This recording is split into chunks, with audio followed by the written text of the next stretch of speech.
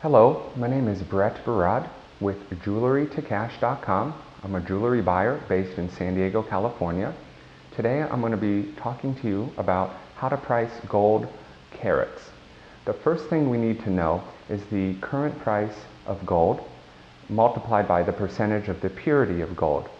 I have a chart below um, that will pretty much identify all these different carats of gold. These are the most common carats in the United States.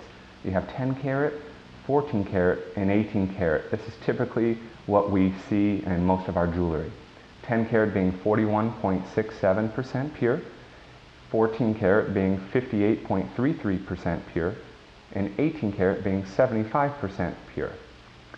So, for example, if gold is currently trading at around $1,700 per ounce, using the formulas that I've previously stated, you would know how much each carat of gold would be per ounce.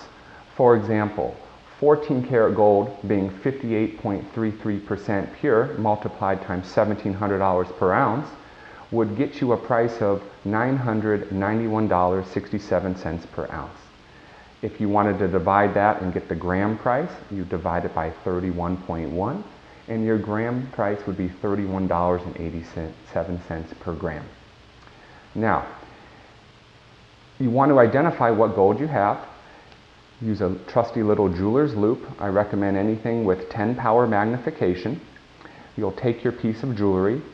You'll locate the markings which are inside the jewelry and typically they'll be 10 carat, 14 carat, 18 carat or they could also say 585 for 14 carat or 750 for 18 karat, which is the approximate purity of the gold.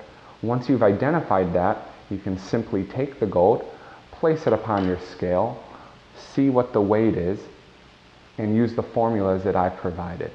That will get you the exact dollar amount um, per gram or per ounce of the particular carat gold that you possess. It's important to remember when doing your calculations there are 31.1 grams in a troy ounce of metal, not 28 grams. It's different when you're talking about a troy ounce of metal. Again, my name is Brett Barad with jewelrytocash.com, jewelry buyer here based in San Diego. I hope I've answered your question on how to price gold carats. Thank you very much. Thank you.